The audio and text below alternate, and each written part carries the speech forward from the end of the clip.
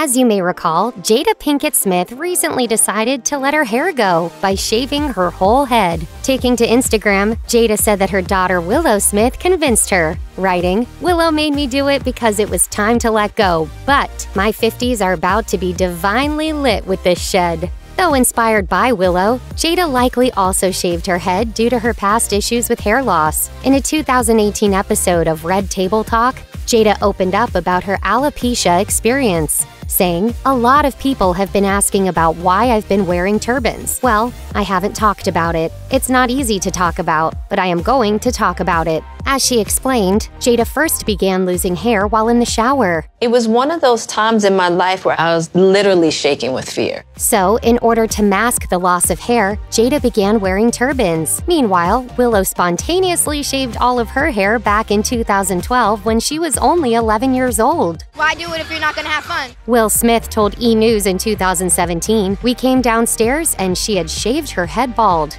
I was like, Oh, wow. What was his reaction to seeing Jada bald, though? Well, on the September 15th episode of Red Table Talk, Jada Pinkett Smith sat down with guest Tiffany Haddish, alongside daughter Willow Smith and mother Adrienne Banfield Norris for a conversation. At some point during their chat, Haddish asked Jada about Will Smith's reaction to her shaving her hair. Jada said, quote, he loves it. Willow also shared that, at the time, she received a text from her father saying how Jada looks, quote, stunning Later in the episode, Jada further discussed saying goodbye to her hair. The actor admitted, It was just time. I was just ready for that kind of expression and release. I'm so glad I did it. It was such a beautiful experience and such a freedom. Jada also said that she now feels, quote, more connected with herself and to the great divine. Jada went on to add that the experience taught her to simply stop caring what people think. Haddish, who shaved off her hair in the summer of 2020, shared similar sentiments as the host.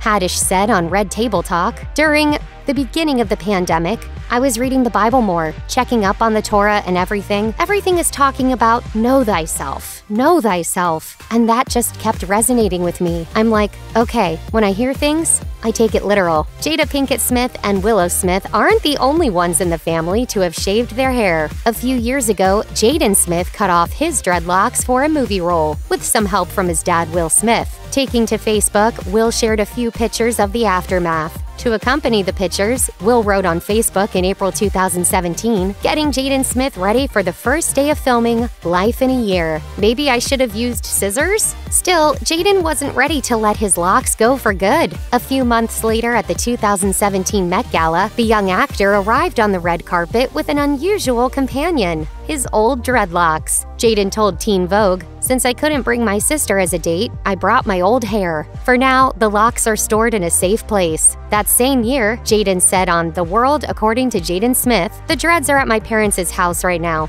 just chilling in a glass box. However, Jaden described a few downsides of having long dreadlocks. Explaining on The World according to Jaden Smith, they smelled like coconut oil and metal because I had the rings in them. So it smelled like coconut oil, metal, and bleach. And when you mix those together, it's not amazing. Jaden continued, I'm glad I have no dreads. I'm glad that I can go swimming at night and I don't have to be really cold and wake up with wet hair.